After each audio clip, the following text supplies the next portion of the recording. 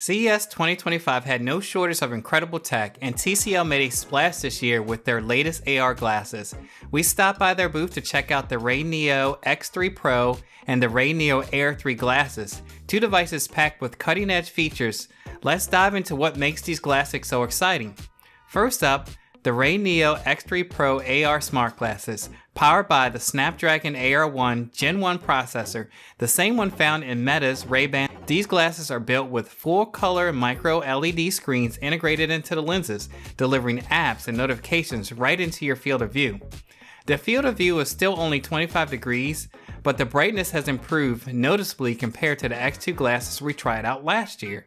They also feature a dual camera system. One camera handles photos and AI application, while the other is used for SLAM and hand tracking. That combination opens up some exciting possibilities for AR applications.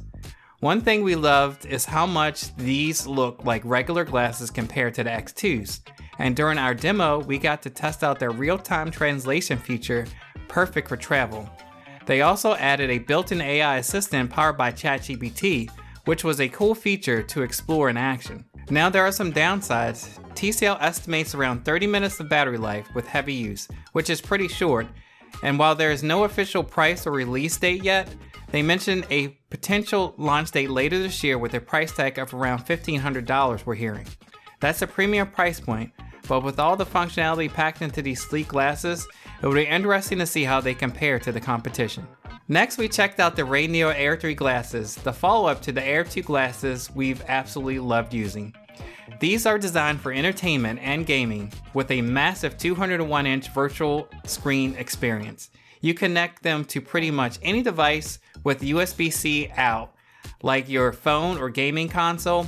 And they also have a device called the Joy Dock, which not only connects your glasses to your Switch, but also charges it while you play. They're using upgraded Sony micro OLED displays for stunning vibrant visuals. The new model was brighter and now has a slightly larger field of view at 50 degrees.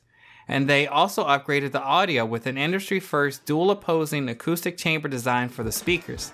Now it's kind of hard to hear on the loud show floor, so we can't comment on how much better they sound, but we can imagine with four speakers versus the normal two, you are definitely getting a better audio experience.